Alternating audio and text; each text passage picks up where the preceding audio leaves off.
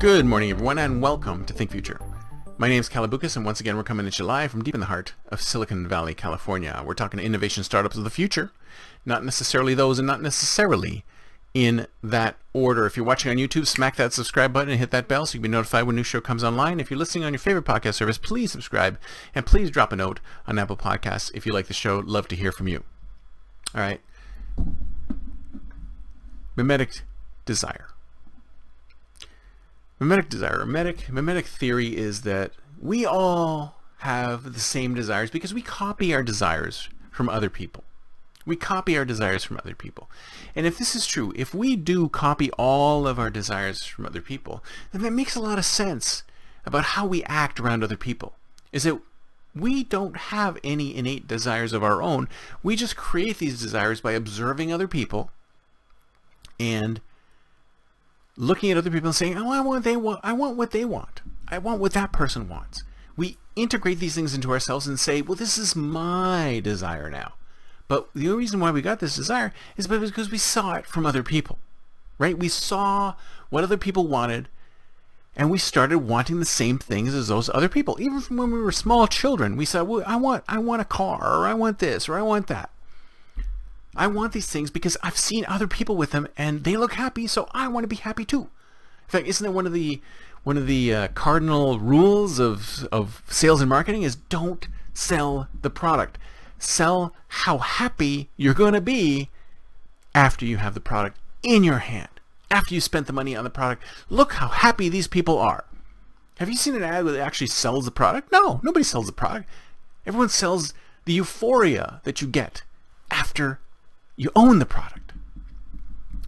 So as a result, one of the other things, one of the downsides of mimetic theory, one of the downsides of the fact that everybody wants what everybody else has, is that that immediately sets up a situation where in the end, at the bottom of the found at the foundation of everything, everyone hates you. And you're probably thinking to yourself, Kalaboukis, what are you talking about? How does why does everybody hate me? Well, everybody hates you because you have stuff. You have things that they want, and you have things that they want that they can't have because you have them. So underlying all of this, underlying all of human civilization is envy envy underlies all of human civilization. We want things other people have. And because other people have them, we hate them.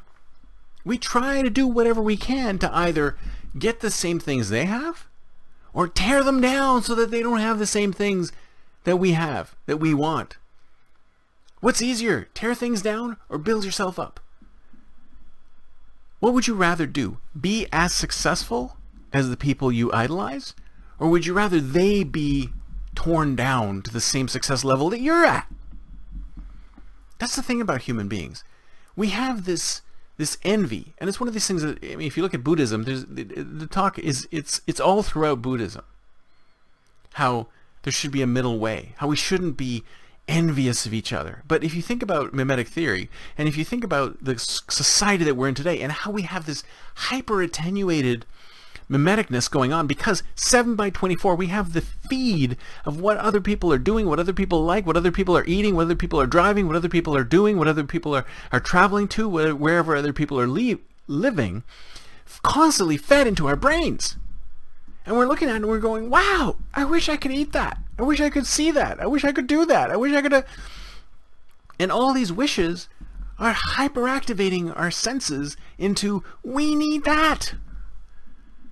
And you can only get that in two ways. You can either get that by working towards getting that yourself, or working towards tearing down another person who has it. So the hatred is real. It might be sublimated. It might be under a foundation. But if there's somebody out there who has what you want, probably underneath it all, you hate them. You hate them for having what you don't have and what you want.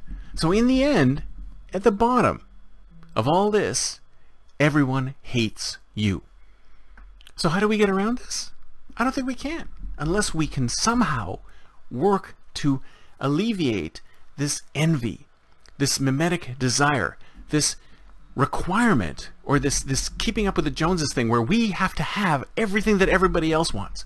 We need to be unique. We need to be different. We need to stand aside from the crowd. We need to say to ourselves, I don't want what everybody else wants. I want something different. That's it for me for today. See you next time, and until then, don't forget to think future.